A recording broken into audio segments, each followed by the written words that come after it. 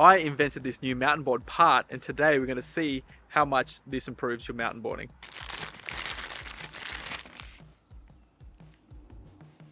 Okay, so by now you've probably seen the new DW3 out there on the market.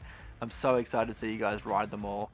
Uh, but what you probably didn't realize is how much research and development, what we call R&D, goes into these boards.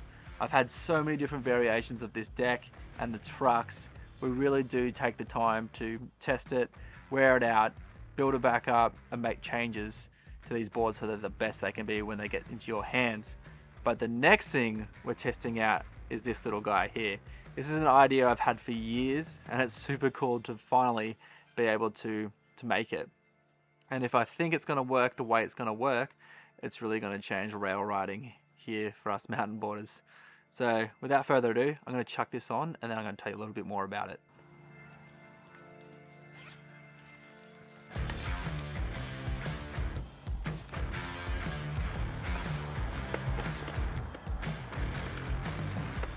Okay, so I think these are one of the first Matrix 3 trucks I started testing out, so they're pretty haggard and sketchy looking. But I've got the cross lockers on. The first thing I noticed was a little bit tricky to get the grub screws in just because I think the uh, Loctite's quite fresh and new, but I guess you want it to stay on there nice and tight. So that was the first thing. It was pretty easy to get on. The cool thing is actually, is that when your wheels, if you have your wheels on backwards like I do, um, and I do that because if you have the wheels around the other one, you sit on your wheel, you let your tires down, so that's just a little tech tip. But if you have them backwards like this, the cool thing is um, the valve stem clears the cross locker, so that's a huge plus right there. The other cool thing about the, uh, the cross lockers is you can move them anywhere up and down the truck. So I'm going to start on the widest setting and then move them in and try and figure out a position that I like the most. Okay, so there's only one thing left to do and that's test these bad boys out. So I'm going to check the board of the truck and then we're going to go to the skate park and see if these cross lockers lock. Okay, we're at the skate park. I don't normally love mountain boarding at the skate park, but there is a perfect flat bar here that I want to try these cross lockers on. I'm going to give them a little wax. I don't really know what to expect here, but just going to chuck some wax on there just in case. You never know what's going to happen. The idea is when you do it,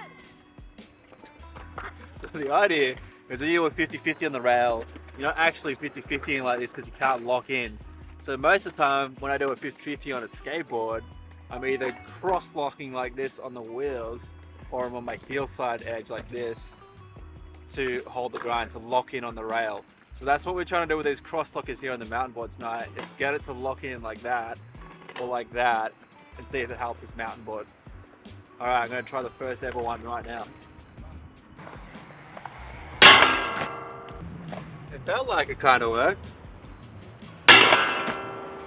Definitely worked that time. Alright, three 50-50s in. I can feel the cross lockers pushing up against, I can feel my heel pushing it into the rail and locking on onto that backside edge, which is exactly what I wanted. It was good doing it a bit slow as well. The slow is a real test how much you can balance. I'm gonna try going a bit more of the rail and see what happens. And it just started spinning with the rain, oh my god. That time I did it on my heels. Getting a little bit longer.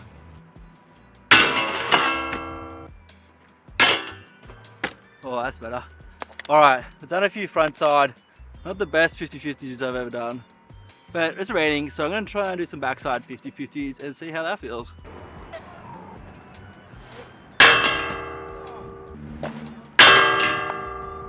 Okay, rain is increasing here at Noble Park Skate Park.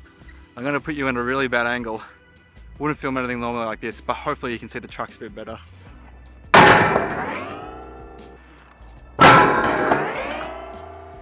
Alright, that is test session number one on the cross lockers. Initial thoughts, it's really nice that you can actually, um, when you're doing a 50-50 grind, you can really push your heels into the rail and hold the cross locker against the rail, which is the exact exactly what I was hoping it was going to do. It's definitely going to let you sit on a grind, on a 50-50 grind longer and balance easier. First thing I am, I think I need to do is actually move the cross lockers. I don't know if you can see that. I need to move the cross lockers in. I'll show another angle in a sec. But um, where I have them now, there is still the risk of uh, when the rail's on an angle like this, there's still a risk of uh, the tire rabbing on the rail. So that's the first thing I'll probably do is move this guy in a little bit.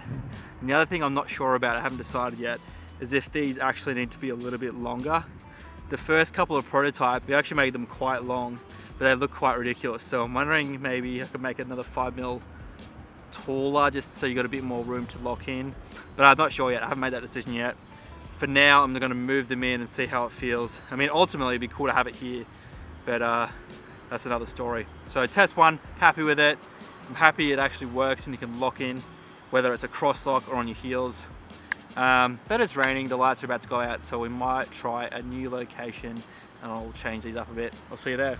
All right, we're back at another skate park. We're at the shed tonight and I'm gonna try and ride some of these rails with the new shorter uh, distance in the cross lockers.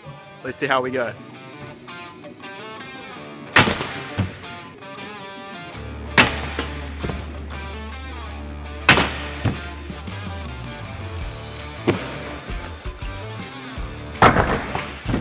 Can probably tell by the slow-mos I'm only grinding a little bit of this fly-out rail because it's so small. So I'm feeling pretty confident now. They're feeling really good actually. They haven't moved too much or anything like that. So now I'm gonna try and straight 50-50 the flat down rail. This would be really hard normally without the cross lockers, so this is a really good test.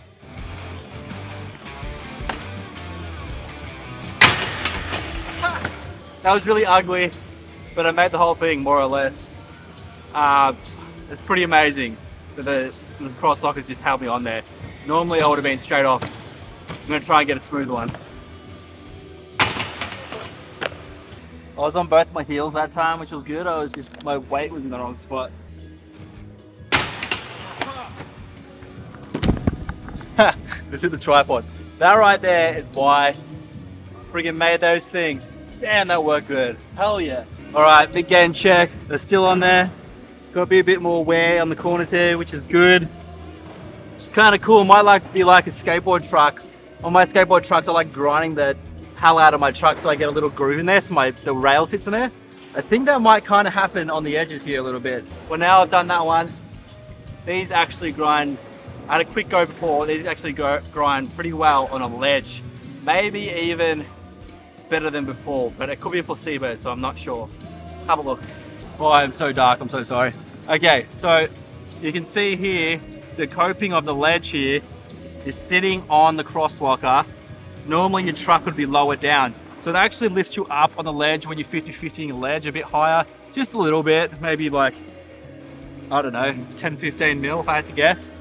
Um, but I've been mucking around before, just doing some little grinds, and it already feels pretty good. It actually feels like I'm locked in, but I could just be talking a lot of smack. So before I was trying to switch back 50s, just mucking around. So I might try and do it on this little flat down ledge here for the first time ever.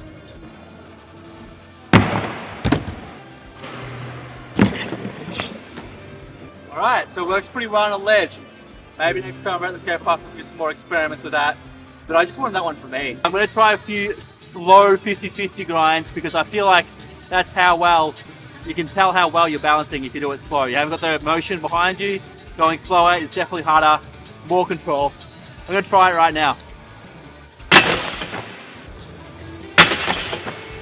All right, they're about to close the skate park. We're gonna head back to the van and head out onto the hill and see what else we can do with these cross lockers. This is Dylan from the future. So sorry to interrupt the video, but I just wanted to point something out. That last clip you saw was from was about a year and a half gap between the last clip and the next clip, and we actually completely changed the design of the cross locker. As you can see in this clip here, the cross locker was very rectangular and it had two adjustment screws. But what we learned was it was really annoying having to adjust the two adjustment screws and I wanted something you could change super quick with just an Allen key. If you're on a session, you want to move the cross lockers in or out depending on what you're riding.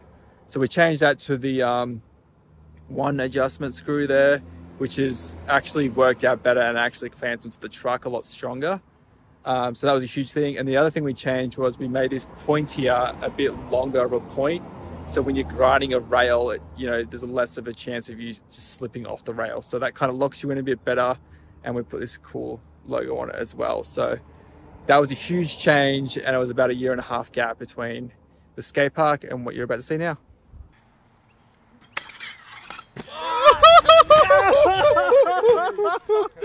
no way! I didn't think you were just gonna go that far straight up. I was flying. I did not need to go that fast. All right, here we are. So you've probably already seen the video of me doing the little creek grind. Um, but we're actually trying out the brand new rail for the first time right now in this park near Joel's house. We've got the cross lockers set up on my brand new board. How nice does this look? And uh, we're gonna see if this, this thing works. Come over here, Joel. So like I spoke about earlier, the idea is to be able to cross your board like this to stay locked into place. You can also do it on your heels like this. You never want to do this. So I'm gonna probably start pretty low. Oh, perfect, here's the cops. And then work my way up so I'm feeling comfortable for when we head to the beach later on today.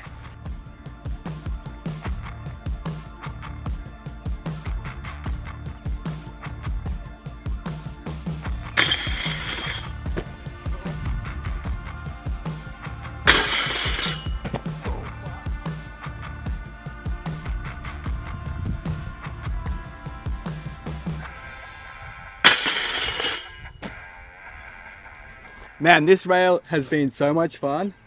With the cross lockers, they literally just, like the name suggests, it just locks you into place. On that last one, I was able to pop a 180 out. You probably, it would be a lot harder to do it without these on a mountain board because the trucks are so big. Sometimes your wheels hit the rail. And when you're locked in like a cross lock, it actually feels like a skateboard. So that's pretty sick. Um, I'm gonna try and do the whole rail from the top to the bottom. But before I do, I've been testing these for about a year and a half and I've hit a lot of different rails and ledges and different types of things with these cross lockers. So here's a few of those clips right now. Let's say bye to Pod. Let's put him under the pump. All right. All right, Pod, what's your review of the cross lockers? Brilliant. See? Brilliant. there you go. What should they do? The people at home, should they go buy some? Absolutely. Yeah. Have you got any words of wisdom? On the spot. On the spot wisdom, go. On the spot Three, wisdom. two, one, wisdom. Silence, man. Yeah, silence. silence is Sometimes golden. the best type of wisdom. is golden. Perfect. There you go. Oh. Great to see you, mate.